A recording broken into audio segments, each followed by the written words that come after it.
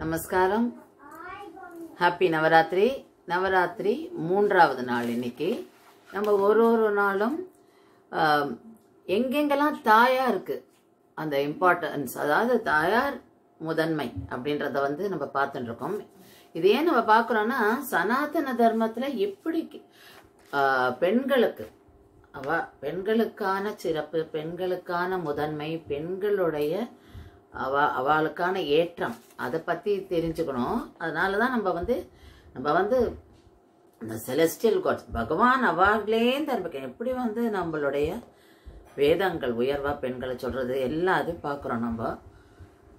அதனால் நமக்கு வந்து நம்மளுடைய ச- ஒரு பழக்கத்தில் எப்படி பெண்களுக்கு மரியாதையும் மதிப்பும் அவளுக்கு ஒரு உயர்ந்த ஸ்தானமும் கொடுக்குறா அப்படின்றது தெரிஞ்சதுக்கு தான் இந்த தீமை நம்ம இந்த வாட்டி சூஸ் பண்ணியிருக்கோம்.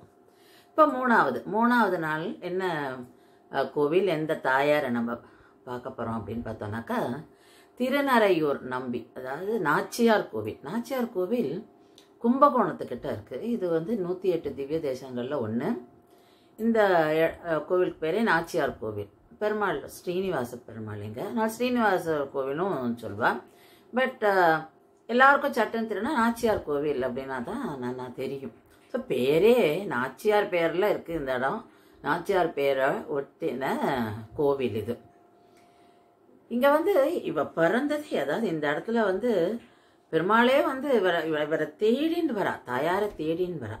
இவன் வந்து மேதாவி என்ற ஒரு ரிஷி அங்கே வந்து தவம் பண்ணிட்டுருக்கார் அந்த ரிஷிக்கு தான் இவ வந்து ம- மகளா அதாவது அவதரிக்கிறார்.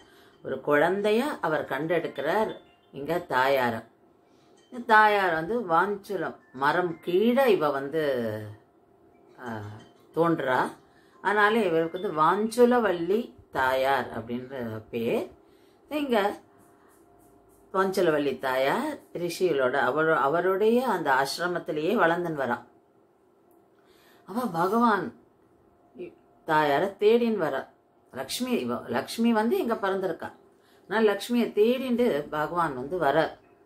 இப்போ கருடன் மேலே வரார் இங்கே. வர வரும் தான் ரொம்ப அப்படியே சுற்றி நிறைய சுற்றினாராம் அப்புறம் இந்த இடத்த கருடன் கண்டுபிடிச்சது இங்கே தான் லக்ஷ்மியோட வாசம் இருக்குது அப்படின்னு சொல்லிட்டு கண்டுபிடிச்சி பெருமாள்கிட்ட சொல்லி பெருமாள் இங்கே வரார் இங்கே வந்து மேதாவி ஞானியை பார்க்குறார் அப் அதாவது பெருமாள் இங்கே வரும்போது அஞ்சு அம்சமாக வரார் வந்து இவ மேதாவியை பார்க்குறாரு அப்போ மேதாவி கிட்ட கேட்குறாரு இந்த மாதிரி எனக்கு வந்து உன்னோடைய பெண்ணை கல்யாணம் பண்ணி கொடு.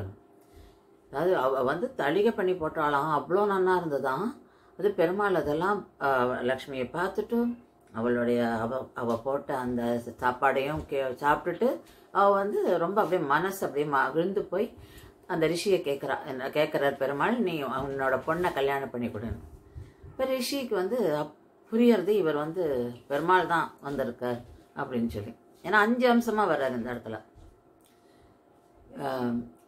அதனால இவர் வந்து சரின்றார். ஆனால் அதுக்கு முன்னாடி ஒரு கண்டிஷன் போடுறார். என்ன கண்டிஷன் அப்படின்னா திருநறையூரில் இருக்கிற எல்லாருக்குமே மோட்சம் உண்டு. இங்கே இருக்கிற ஜீவராசிகள் அனைத்துக்கும் மோட்சம். அதில் முதல் கண்டிஷன் என்ன சொல்கிறாருன்னா என் பொண்ணை கல்யாணம் பண்ணி கொடுக்குறேன். ஆனால் அவளுக்கு தான் அந்த முதன்மை அவளுக்கு முதன்மை கொடுக்கணும். அவளுக்கு தான் ஃபஸ்ட்டு ரைட்ஸ் எல்லாம் அவளுக்கு தான் அப்படின்னு சொல்லி கண்டிஷன் போடுறார். பெரும்பாலும் சரி அப்படின்னு சொல்கிறார் அதனால் இந்த இடத்துல வந்து தாயாருக்கு தான் முதன்மை. எல்லாத்துக்குமே அவளுக்கு பிரசாதம் வந்து அம்சை பண்ணுறதும் தளிகை பண்ணி பெரு பெருமாளுக்கு சமர்ப்பிக்கிறதும் முதல்ல வந்து தாயாருக்கு தான் இந்த இடத்துல அப்புறம் பெருமாளுக்கு அப்படின்னு சொல்லுவா அதே மாதிரி நம்ம கோவிலுக்குள்ளே போகும்போது கோவில் கர்ப்பகிரகத்துக்குள்ள பார்க்கும்போது தாயார் தான் அந்த சென்டராக நமக்கு தெரியும் பெருமாள் பெருமாள் வந்து கொஞ்சம் தள்ளி இருப்பார் ஸோ அந்த மாதிரி ஒரு அமைப்பு இங்கே. அதனால் தாயார் தான் இங்கே முதன்மை. இது இந்த இடம் வந்து கல்கருடன் ரொம்ப ஃபேமஸ் இங்கே. இப்போ கல்கருடன் மேலே பெருமாள் எழும்போதுமே தாயார் வந்து அம்ச வாகனத்தில் எழுவா அப்போது தாயார் வந்து முன்னாடி போவா. கல்கடனில் பெருமாள் வந்து பின்னாடி போயிடுது. எல்லாத்துக்குமே இவங்க வந்து தாயாருக்கு தான் முதன்மை.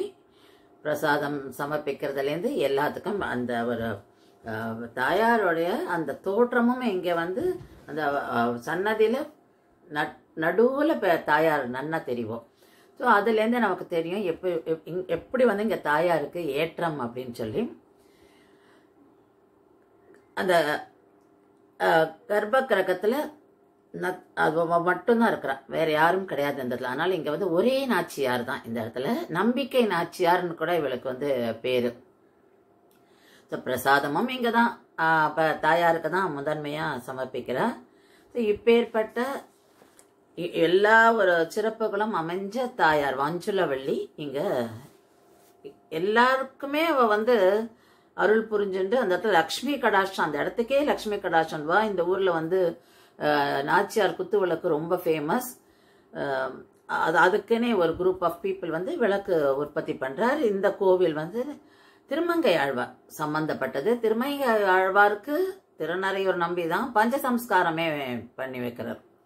ஸோ இவ்வளோ நிறைய அந்த பழமையான கோவில். ராஜா வந்து அவ்வளோ பெரிய கோவில் கட்டியிருக்கான்.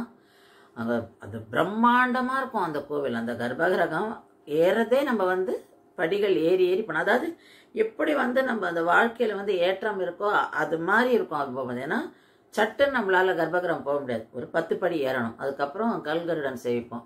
திருப்பி நம்ம பத்து படி ஏறுவோம்.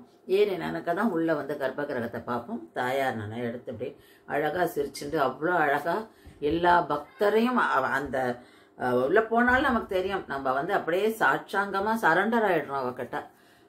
தாயார் வந்து நம்மள ஆட்கொண்டு விடுறோம் அந்த ஒரு உணர்வு நம்ம வந்து இந்த கோவிலில் நமக்கு வந்து ஏற்படும். ஸோ இன்னைக்கு வந்து திரு நரையூர் இல்லைன்னா நாச்சியார் கோவில் வஞ்சுலவள்ளி தாயாரை நம்ம சேவிச்சோம்.